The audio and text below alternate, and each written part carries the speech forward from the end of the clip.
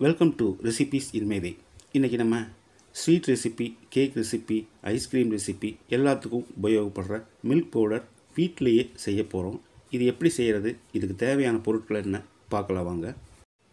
Six percent fat இருக்கிற பால் ஒரு litre நான் எடுத்திருக்கேன். இதை பேனில் ஊற்றி கொதிக்க வச்சிடலாம்.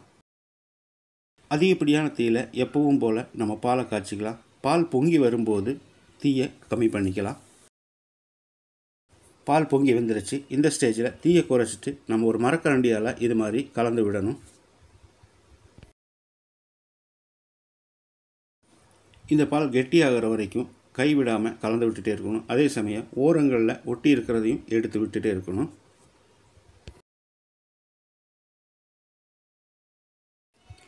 இது திக்கான பதம் வர வரைக்கும் தீயை குறைச்சும் கூட்டி வச்சுக்கணும். திக்கான பதம் வர்ற வரைக்கும் நம்ம கைவிடாமல் கலந்து விட்டுட்டே இருக்கணும். இல்லைன்னா தீஞ்ச வாடை அடிக்கும். இது ஓரளவுக்கு கெட்டியாயிடுச்சு இப்போ நம்ம தீயை குறைச்சி வச்சுக்கணும். இந்த அளவு திக்காக வர்றதுக்கே ஒரு பதினஞ்சு நிமிஷம் ஆகும்.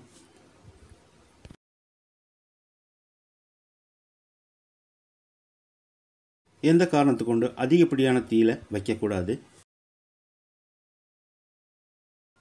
ஓரளவு திக்காயிடுச்சு. இது இன்னும் கூட பேனில் ஒட்டாத அளவுக்கு திரண்டு வரணும்.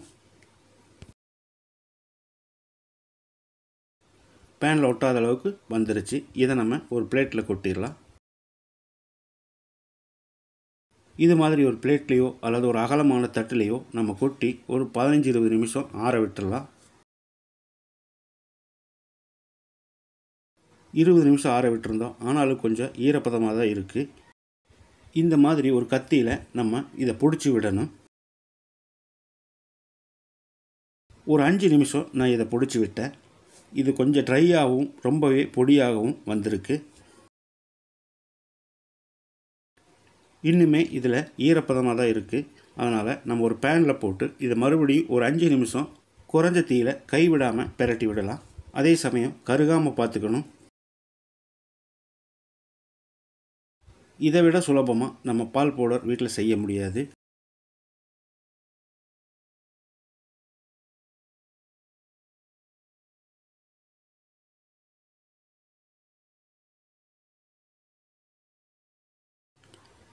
ரவை மாதிரி நல்லா ட்ரை ஆயிடுச்சு இதை திரும்பவும் பிளேட்டில் கொட்டி ஆற வச்சிடலாம். ஆற வைக்காமல் மிக்சியில் போட்டோம்னா பவுடர் ஆகாது.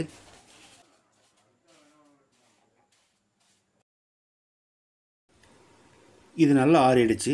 இது நூற்றி ஐம்பது கிராம் அளவு இருக்குது